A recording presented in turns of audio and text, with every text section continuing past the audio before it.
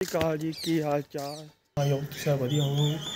ਅੱਜ ਆਰੰਭ ਹੋਣੇ ਆ ਸਾਡੇ ਪਿੰਡ ਦੀ ਹੋਲਾ ਮਹੱਲਾ ਮਨਾਉਣ ਦੇ ਲਈ ਖੰਡ ਪਾਠ ਸਾਹਿਬ ਟੋੜਾ ਠੋਂਡਾ ਖੰਡ ਪਾਠ ਸਾਹਿਬ ਹਨ।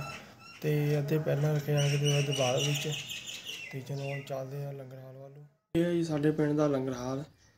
ਜਿਹੜੀਆਂ ਸੰਗਤਾਂ ਹੋਲਾ ਮਹੱਲਾ ਮਨਾਉਣ ਦੇ ਲਈ ਅਨੰਦਪੁਰ ਸਾਹਿਬ ਜਾਂਦੀਆਂ, ਉਹਨਾਂ ਦੇ ਲਈ ਲੰਗਰ ਦੀ ਸੇਵਾ ਚਲਾਈ ਜਾਂਦੀ ਹੈ ਜਿਹੜੀ ਕਿ ਪੂਰੇ 9 ਦਿਨ ਚੱਲਦੀ ਹੈ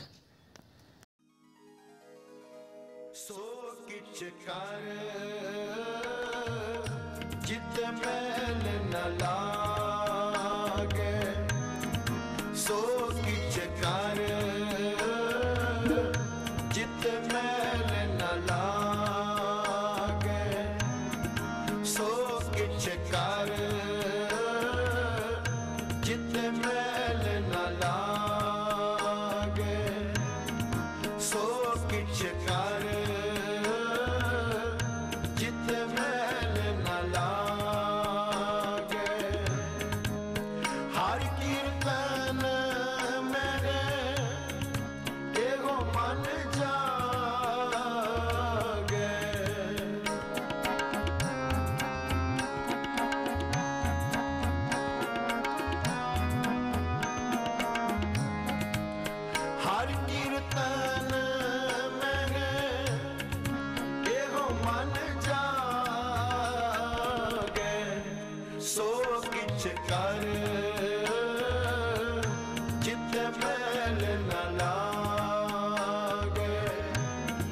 ਸੋ ਕਿਛ ਕਰ